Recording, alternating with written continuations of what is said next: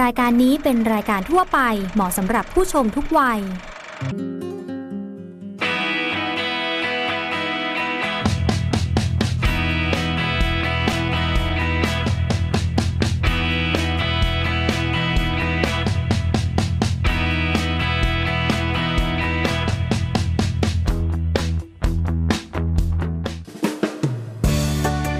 สวัสดีครับคุณผู้ชมทางช่อง T Sports เจ็ดตัวจริงเรื่องกีฬา หลายแฟนๆของรายการสู้ชีวิตพิชิตกีฬา โดยพี่เชาเชาวลิตเจ้มดอนผู้ดำเนินรายการ ลงพื้นที่การตามหาเรื่องราวต่างๆ หมวดกีฬาวัฒนธรรมท่องเที่ยว และการสืบสานสิ่งดีในบ้านเมืองเรา ในเบรกแรกเราไปช่วยงานผ้าป่าเพื่อการศึกษาของนักเรียนกันครับ วันนี้ทีมงานของเรามาอยู่ที่รอยต่อของจังหวัดสมุทรปราการและจังหวัดฉะเชิงเทราตรงนี้อากาศดี และงานผ้าป่ากำลังจะเริ่มขึ้นครับ คุณผู้ชมครับทีมงานของเราและพี่ชาวลูกหนังติดล้อนะครับ วันนี้ก็มาที่โรงเรียนเตรียมอุดมเปล่งวิสุทธาธิบดีนะครับ เป็นโรงเรียนที่อยู่ในอำเภอบางน้ำเปรี้ยวจังหวัดฉะเชิงเซานะครับ จริงๆ ก็ไม่ไกลจากกรุงเทพนะครับ ตรงนี้ถ้าถัดไปเนี่ยก็จะเข้าลาดกระบังแล้วนะครับใช่ใกล้มาก ซึ่งวันนี้นะครับทางด้านโรงเรียนนะครับ แล้วก็คณะครูนักเรียนแล้วก็รวมไปถึงกลุ่มผู้ปกครอง ผู้ปกครองแล้วก็บรรดานักการเมืองท้องถิ่นนะครับ ก็ร่วมกันจัดผ้าป่าการศึกษาด้านใน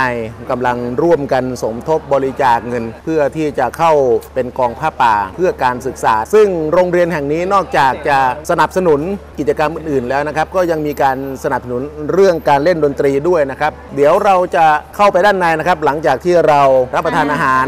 ในส่วนของคณะบุคคลนะครับกำลังจะมาร่วม ทอดผ้าป่าเพื่อการศึกษานะครับ เดี๋ยวช่วงนี้ทีมงานของเราและพี่เชาก็ขออนุญาตรับประทานอาหารกันก่อนนะครับ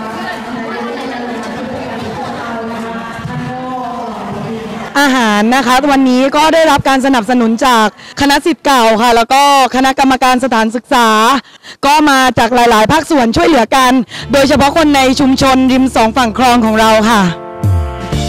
ในส่วนของคุณครูที่ได้รับผิดชอบเรื่องอาหาร ก็ได้ขอบคุณบูธอาหารการกินจากกลุ่มต่างๆ ในงานพระป่าเพื่อการศึกษาในวันนี้ ในขณะที่ผู้อำนวยการของโรงเรียนก็ได้ต้อนรับบรรดาเพื่อนๆ ในสถานการศึกษาเดียวกัน รวมไปถึงท่านนายกองค์การบริหารส่วนตำบล เจ้าของพื้นที่ก็ให้ความใส่ใจกับกิจการของนักเรียนวันนี้ครับ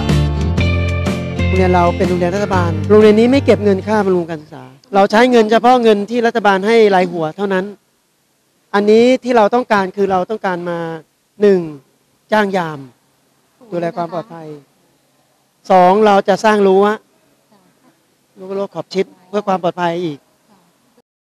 ทำบุญเกี่ยวกับการศึกษา เป็นอะไรที่ผมพูดมาตลอดว่า เป็นอะไรที่มันมองเห็นมันชัดเจน มันไม่ต้องรอชาติหน้า มันเห็นถึงชาตินี้เลยนะครับ เราทำบุญไปปุ๊บวันรุ่งขึ้น เด็กได้ใช้เด็กได้ ได้ความรู้ได้เรื่องเกี่ยวกับเรื่องการศึกษา พิชยาสาครนะคะเอ่อเป็นนายกสมาคมสโมสรวัฒนธรรมหญิงในพระบรมราชูปถัมภ์นะคะ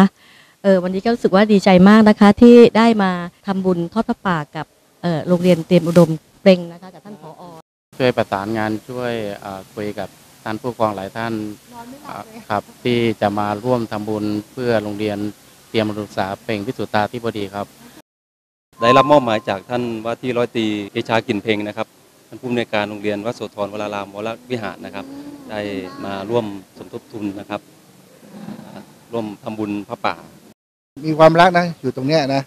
คือผมจะต่อจากท่านผู้อำนวยการสุชาติคงเจริญ ท่านอยู่ที่เนี่ยประมาณสิบกว่าปีกับยี่สิบปีนะท่านก็สร้างมาเยอะพอดีผมมาก็มาสารต่อท่าน แล้วก็ส่งมอบส่งมอบให้ให้น้องชายละอ่าน้องชายแล้วท่าน เอ่อนะครับท่านปอ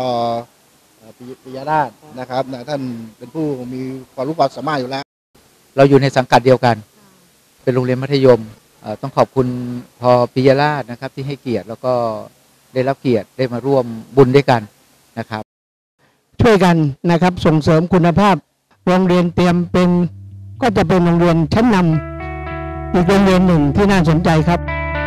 เป็นกลุ่มคณะของผู้ใหญ่ที่เข้ามาร่วมงานผ้าป่าเพื่อการศึกษา นอกจากนั้นยังมีกลุ่มบรรดาเพื่อนๆ ในตำแหน่งผู้อำนการของแต่ละโรงเรียนแต่ละพื้นที่ ที่เป็นเพื่อนเป็นพี่เป็นน้องกับผู้ในการโรงเรียนที่เป็นเจ้าภาพแห่งนี้ ก็มาช่วยงานกันแบบยกชุดกันไปเลยครับสาวปวีทิพย์อ้นนำพองนะคะ ผู้อำนวยการโรงเรียนวัดโปรยฝนนะคะ จากสำนักงานเขต ปฐมศึกษาปทุมธานีเขต2นะคะก็อยู่จังหวัดปทุมธานีนะคะ ความผูกพันกันกับท่านผอปิยราชนะคะซึ่งท่านผอปิยราชเนี่ยท่านเป็นเป็นผู้บริหารที่มีใจในการพัฒนาการศึกษานะคะ แล้วก็มีแนวคิดที่ดีนะคะที่จะพัฒนาโรงเรียนเตรียมอุดมเพ็งเนี่ยให้เป็นโรงเรียนที่มีคุณภาพปัจจุบันดำรงตำแหน่งผู้อำนวยการโรงเรียนวัดศรีคักขนางนะครับอ่าอำเภอหนองเสือจังหวัดปทุมธานีครับก็ความสัมพันธ์ในในในส่วนตัวผมกับพี่ปิยราชเนี่ยนะครับ ก็รู้จักกันมา 15 ปีแล้วครับ ผมนายชวานอ่อนแสงนะครับผู้อำนวยการโรงเรียนคอย13 ผิวสี ราชบำรุงอ่าส่วนหนึ่งนะครับก็คือท่านได้เป็นประธานกลุ่มเครือข่ายเดียวกันนะครับที่เคมีตรงกันนะครับ ก็อ่ามาเป็นกำลังใจอีกหนึ่งกำลังใจครับขอบคุณครับ ผมกับพอปิยราชเองเนี่ยก็รู้จักกันเป็นการส่วนตัวตั้งแต่ผมเนี่ยยังเป็นคุณครูอยู่ใช่แล้วก็ท่านพอปิยราชเนี่ยไปไปบรรจุเป็นผู้อำนวยการที่ เขตสองนะครับก็มีโอกาสได้ร่วมงานกับท่านเนี่ยในเรื่องของการทำกีฬาสปาร์ตะกร้อนะครับทำทำงานร่วมกันมาจนเราเนี่ยได้เป็นแชมป์สปาร์ตะกร้อ 12 ปีประเทศไทยด้วยกัน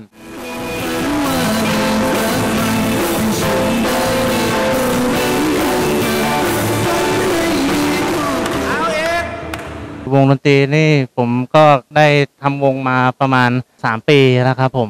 ตอนนี้ก็ยังมีขาดแคลนเครื่องดนตรีบ้างอยู่ครับผมแต่ทีนี้ก็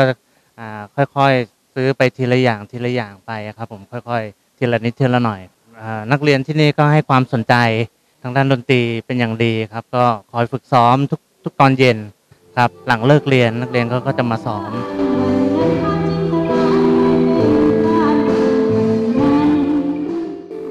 ปัจจุบันเนี่ยค่ะอยู่ชั้นมัธยมศึกษาปีที่6ทับ2ค่ะ พอดีหนูชอบร้องเป็นนักร้องสายลูกทุ่งค่ะ แต่ว่าก็ร้องได้ทุกแนวนะคะ แต่ว่า ส่วนมากจะเน้นเป็นลูกทุ่ง เพราะว่าหนูรักในความเป็นไทยแล้วก็ในความเป็นลูกทุ่งค่ะ เหตุผลที่ร้องเพลงเพราะเพราะว่าเมื่อก่อนน่ะหนูเป็นคนที่ไม่ค่อยชอบร้องเพลงเลย แต่พอมีอาจารย์มาแบบว่าสอนเรื่องการร้องเพลงให้หนูหนูเลยมีกำลังใจในการร้องเพลง และทำให้ทำให้ผมมามีภูมิใจมีผลผลงานมากมายทางโรงเรียนนี้ค่ะ มาต่อม .2 ที่โรงเรียนแห่งนี้ ผมก็ได้ทำการลองเข้าประกวดเพลงลูกทุ่ง ระดับมต้น สรุปก็ได้ที่สองนะครับ ผมก็เริ่มว่าแบบพอเห็นแวว ใช่ พอเห็นแววด้านเรื่องดนตรีนะครับผมผมก็เลยมาเข้าวงดนตรีจนถึงทุกวันนี้ครับ ก็สวัสดีค่ะ ชื่อนายสาวพรพุสกุลนะคะ เป็นรองประธานนักเรียนโรงเรียนเตรียมอุดมศึกษาเปร่งวิสุทธาธิบดีค่ะ สวยค่ะต่อเลยเพลงที่หนูชอบอะคะลูกอ่าค่ะ ก็ เพลงที่ชอบนะคะก็ได้ได้ทุกแนวค่ะได้หลายแนวนะคะ ก็อาจจะมีร้องบ้างอะไรประมาณนี้ค่ะ นิดนิดหน่อยหน่อยๆก็มาช่วยเสริมเกี่ยวกับวงดนตรีนี้ด้วยค่ะ กิจกรรมผ้าป่าการศึกษาในช่วงเช้าผ่านไปด้วยดีแดดร่มลมตก ผู้อำนวยการคุณครูนักเรียนได้จัดการแข่งขันฟุตบอลแมตช์พิเศษการกุศล รับการเยือน 4 ทีมที่ร่วมบุญในวันนี้ แม้ว่าสนามฟุตบอลเพิ่งสร้างเสร็จ และกำลังปรับปรุงกันใหม่ครับสองวันครับ เพราะว่าครูส่วนใหญ่จะเตรียมผ้าป่าเตรียมเอ่อประดับพระเกี้ยว ไม่ได้สนใจตรงนี้ก็นี่ก็ทำกันลูกๆ ช่วยกันทำครับ ก็รู้สึกเป็นเกียรตินะครับได้มาร่วมพระป่าการศึกษาให้กับโรงเรียนเปลงวิสุทธาธิบดี ซึ่งเป็นโรงเรียนที่อยู่ห่างไกลก็พอสมควร เพียงแต่ว่าการสนับสนุนและอะไรหลายๆอย่างทางพื้นที่อาจจะล่าช้า นะครับ ก็โรงเรียนก็พยายามจะพัฒนา แล้วก็พอดีได้เริ่มมีโอกาสทีมงานของผมได้มาร่วม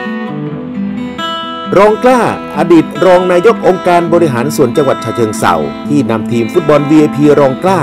มาร่วมทำบุญ และเตะฟุตบอลแมตช์พิเศษการกุศล เรียกว่าได้บุญได้สุขภาพกันทั่วหน้าครับในช่วงหน้าเราจะไปติดตามการแข่งขันฟุตบอลภูมิภาคสัมพันธ์ครั้งที่ 5 ที่สนาม Airport Stadium ถนนหทัยราษฎร์เขตคลองสามวากรุงเทพมหานคร ก็สนามแห่งนี้ก็ยังยินดีรับใช้พี่ๆน้องๆแล้วก็มีอะไรก็ขอให้แจ้งเรามานะฮะ